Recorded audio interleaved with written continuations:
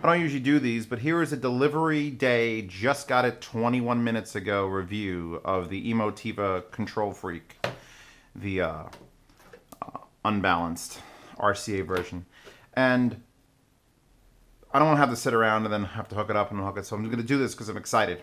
I like being excited. So it came in this shitty box from Shitty Pot Town. Here it is. And what this is, is an umbilical, four connectors, and a really nice metal knob. Big heavy son of a bitch with a rubber bottom.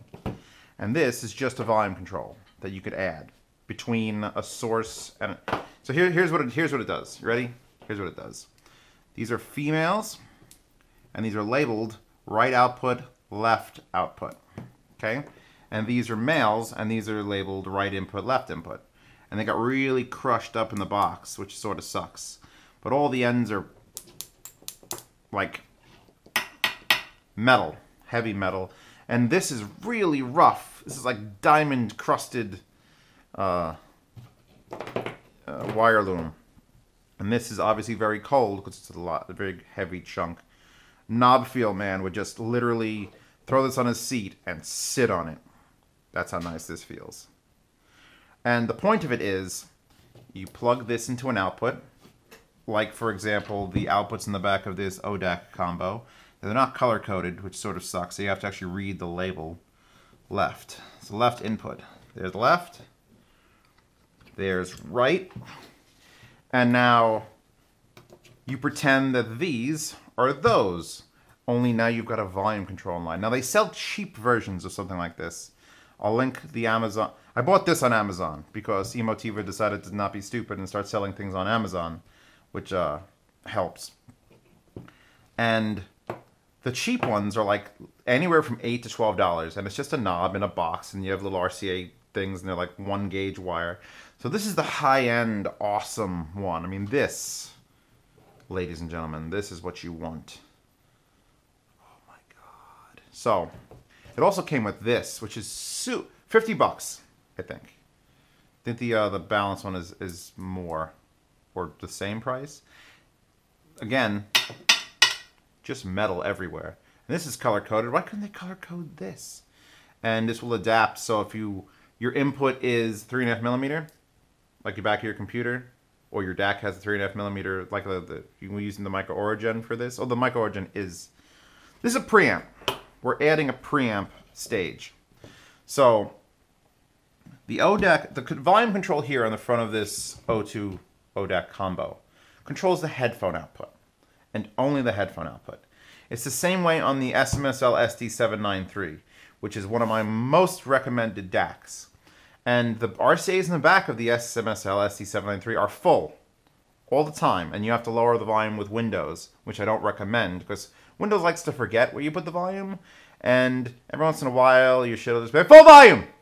So that's where this comes in. So I've got this hooked up. Nan Nan there is staring at me, and she's going to stand behind my foobar. My foobar is going to play Juno Reactor or Junkie XL. And right now, the headphone amp is completely off. The headphones aren't playing. Here, put the headphones on. Now the headphones are playing. But the DAC is outputting full tilt. And if, if I hook it up to these Emotiva Airmotiv speakers, which I'm about to do, they'd be playing at full tilt. I'd have to lower windows. So now excuse the absolute fuck all mess that this is about to make with wiring. Because you would obviously do this behind all your stuff. And I'm just doing it in front of all my stuff. And don't ask me where I got these RCA cables because I got them from a place called Liberty Cable and they were like the final ones they were selling. I bought the lot. Literally the lot. I, I spent like $78 and I got like 200 wires. So let's go. Turn my knob down. Uh, review for these is coming. I'll show you exactly what we're dealing with. Now this really only helps, this could help in two situations. When you've got powered monitors or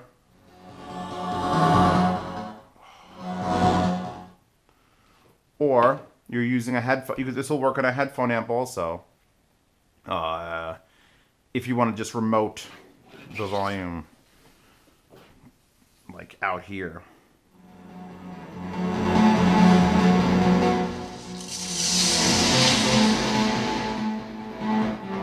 Wow, that's now it's basically a potentiometer in here, but it's a really high-end potentiometer. So there's no scratchy sounds, there's no volume uh, de- degradation.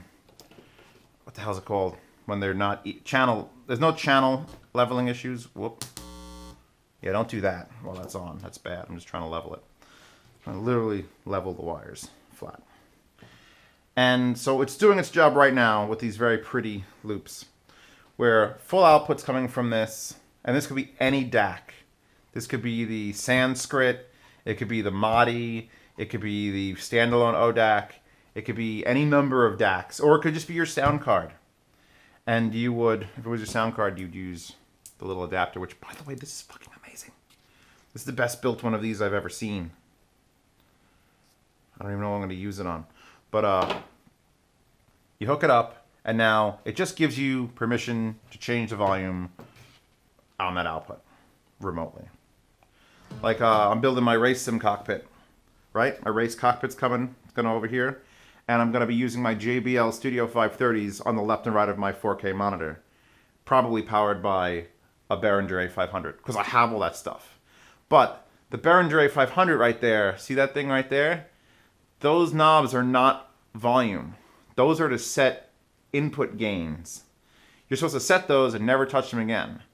And you could use a control freak like this, which is originally why I was going to buy it, to control the volume of that. So I could just wire this up, my source output to that amp, and right here on my desk, because it's long enough to reach, I can control the input volume going to that. And that's what's to happen in my sim cockpit. This is to be mounted on my dashboard of my fake car, and I'm just to be like, I need to hear my car more. that review's coming soon. But uh yeah. Yeah. This is fucking beautiful. I almost wish this wasn't as sharp. Like if it was cloth, like these are cloth and I like cloth. This is like I feel if I, I took the, both ends of this, went around a tree, I could just do this and sort of cut the tree down eventually. Only negative. It's nice and heavy. There's I,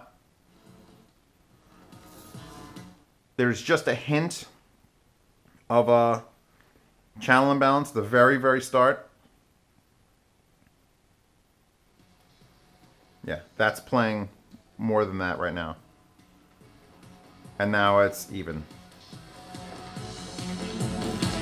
And that exists on pretty much everything except for a digital volume control like the Audioengine D1 has, where it's a rotary encoder in there. But this is a very simple unit, just really well made. And this is how it works. I just explained it. You get four leads, two ins, two outs, and it just sits in the middle of those and squashes the volume for you.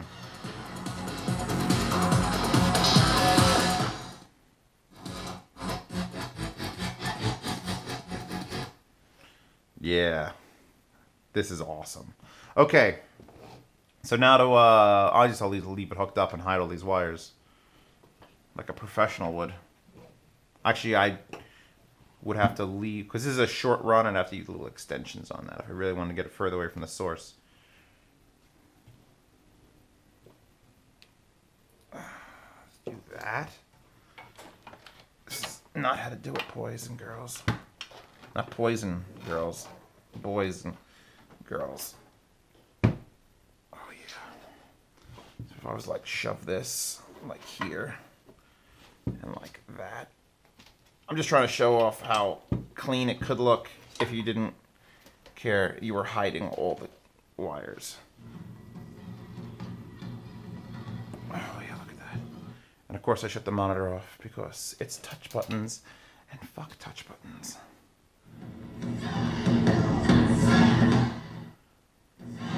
Oh. Look at the look at the cheap one. Look at the twelve dollar one and go, yeah, I could live with that. You could live with the twelve dollar one and it would be similar, but it wouldn't be machined aluminum with this long extension. This is much better. And they sell obviously a balanced one with XLRs, which for the Behringer amp would work, but I'd have to have a source that's also XLR or use adapters. So I'd either have to use my Emotiva, and then I could have just done that. But the Emotiva is a preamp, so it has volume control on it already. So.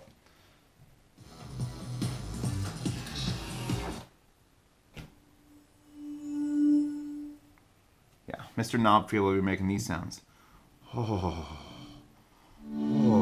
Oh.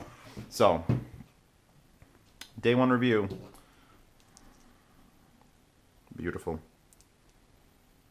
This is worth fifty dollars right here, right here. This, I tell you what, this would be fifteen dollars if it was just sold, and I don't think they sell just this.